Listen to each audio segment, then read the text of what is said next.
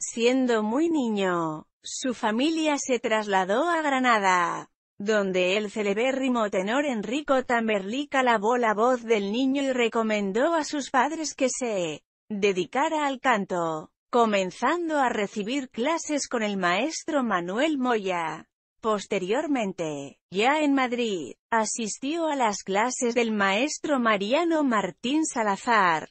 En 1878 cantó por primera vez en el Teatro Real de Madrid, donde el 4 de febrero interpretó el pequeño papel de narco del poliuto de Donizetti, al parecer sin siquiera haber ensayado previamente. Un mes más tarde, el 30 de marzo, hizo su debut oficial con un papel secundario en la ópera Fra Diavolo de Daniel François Saber, siendo sus compañeros de reparto el tenor Emilio Naudín, la soprano Carolina Ferni y el bajo Aristide Fiorini. Antes de finalizar la década, alcanzó algunos éxitos notables, siempre en el Teatro Real cantando Miñón de Ambroise Thomas y el Fausto de Gounod.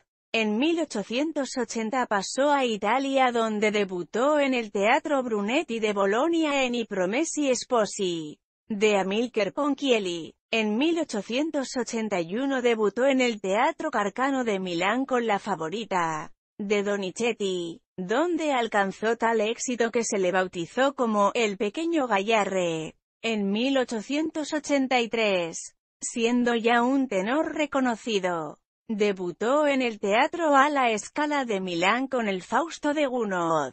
En 1884 cantó la Carmen de Bizet en San Petersburgo donde alcanzó su consagración definitiva. Desde ese año, el personaje de Don José lo cantó a lo largo y ancho de Europa como en el Teatro San Carlos de Lisboa, el Teatro Costanzi de Roma, el Teatro Real de Madrid, el Teatro Carlo Felice de Génova y de nuevo en la Scala de Milán en la temporada 1885 sobre 1886. En 1885 cantó el Werther de Massenet en el Teatro a la Escala. En 1886 volvió a la Escala con la Carmen de Bizet. En 1889, 12 de febrero, fue titular del estreno absoluto en el Teatro Real de Madrid de Los Amantes de Teruel, de Tomás Bretón, que cantó traducida al italiano,